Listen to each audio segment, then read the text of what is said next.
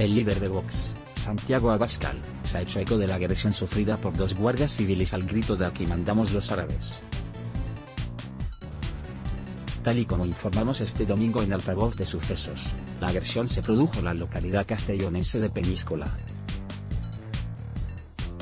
Fue el pasado fin de semana, según informa La Razón, cuando dos agentes de la Guardia Civil fueron acorralados cuando se encontraban fuera de servicio tomando algo en la discoteca Ivano de Peñíscola, después de haber sido reconocidos como miembros del cuerpo de la Benemérita. En el interior de la discoteca, un grupo de cinco personas, de diversas nacionalidades, pero principalmente marroquíes, acosaron a los agentes.